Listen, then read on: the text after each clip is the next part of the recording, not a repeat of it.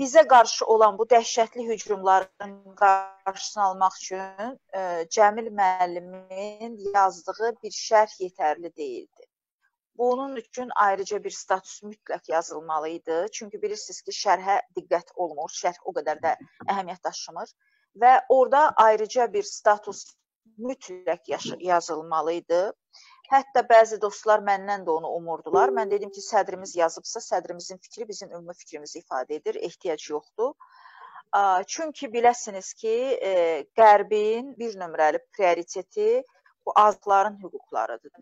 Üzləniraqlardır. Ona görə də onlar çox həssas yanaşırlar. E, İsmail Allah bu nə dəhşətli bir şeydir. Deməli siz onun səhifəsinə baxın Facebookda. İngiliscə onun bir dənə e, Facebookda profili var.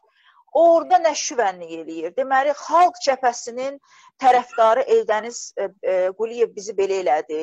Xalq cəbhəsinin tərəfdarı Qabil Məmmədov belə elədi. Bizi qoruyun Əli Kərimlinin əlindən, bizi qoruyun cəbhənin əlindən.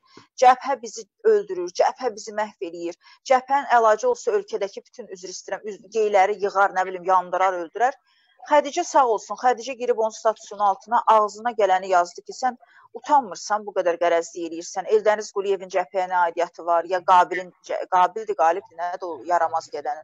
Bəli. Onun nə nə aidiyyəti var xalq cəbhəsinə? O heç onlar üzvləri də deyil. Eldəniz bəy Milli Şuranın üzvüdür, müstəqil ziyalıdır. Qabil də ümumiyyətlə Qabili də heç kim qəbul eləmir, nə cəbhədə, nə Milli Şurada, nəsə bunun cavabını verirdi. Onun əvəzində təsəvvür edirsiniz. O indi də düşdü Xədicəyə nələr dedi ki, sən də riyakarsan, ikiyüzlüsən.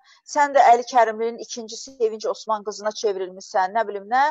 Amandır, mən stres yaşayıram, çox-çox üzr istəyirəm. Deyir, mən və ərim neçə günlərdir bu statusa görə dəhşətli stres yaşayırıq, özümüzə gələ bilmirik. Güldəyin xanım, üzr istəyirəm, kişi qəhvəsindən başqa nə gözləyirsiniz? Elə Onun altında gelirsiniz. Mən çox uzun istəyirəm, yəni. My husband and me. Mən Mənim ərim və mən stres yaşayırıq deyir. Güldəyə xanım, mən çox təəssüf edirəm ki, 41-45-də Hitler o geyləri qırıb qutarmadı. İclasımız canlı yayıma gedir ha, ehtiyatlı olun. Yaxşı da, geçsin də.